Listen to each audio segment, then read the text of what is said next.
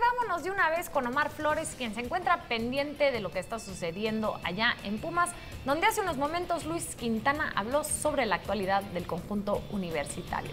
Omar, te saludo con mucho gusto.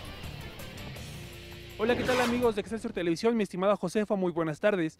Pues hoy por la mañana en la cantera de los Pumas salió conferencia de prensa Luis Fernando Quintana, quien dijo que siempre deseó ocupar el lugar de Darío Verón y ahora que lo tiene, desea aprovechar la oportunidad. Escuchemos sus palabras. Siempre me propuse ser el siguiente de Darío, entonces lo analicé mucho durante casi cuatro años.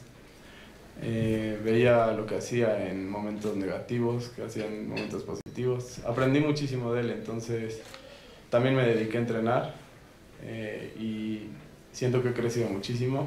Eh, me falta muchísimo también, pero yo creo que fue eso, el saber que Darío iba a haber un día que no iba a estar. Los Pumas enfrentan el próximo viernes al Morelia y esperan mantener su buen paso en la liga. David nos supo motivar, él conoce muy bien el club, conoce la historia, entonces nos lo, transmitió, sobre todo a los refuerzos, porque los canteranos ya más o menos nos la sabía, bueno, sabíamos de, lo que se trata este club.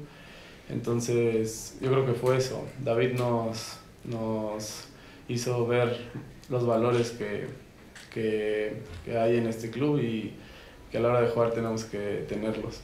Hasta aquí mi reporte, compañera. Que tengas muy buena tarde. Cambio y fuera.